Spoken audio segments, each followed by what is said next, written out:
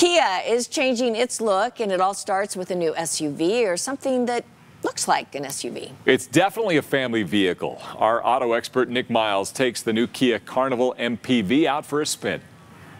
I don't know if I'm embarrassed or excited to tell you that I like the new Kia Carnival MPV.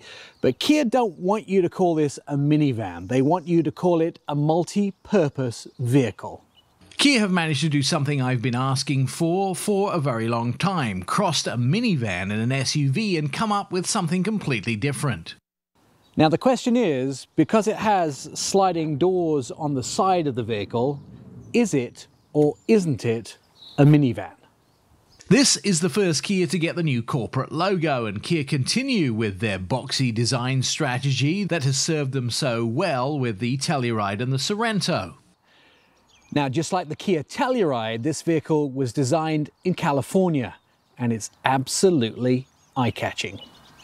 This is the first time that I've ever been in a not minivan because if I say minivan, the Kia police will come and find me and had people stop and give me a thumbs up or do a double take.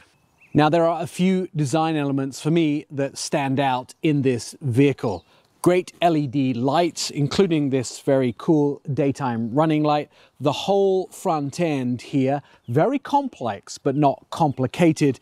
And where you get to the side of this vehicle, there are those nice 19 inch dark wheels.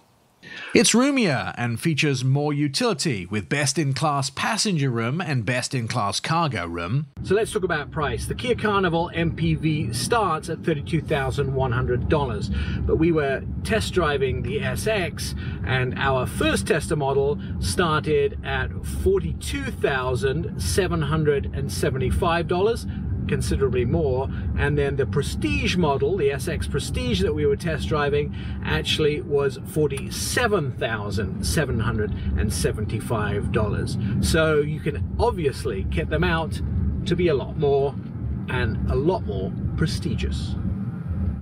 For Fox 13 News Utah, I'm Nick Miles.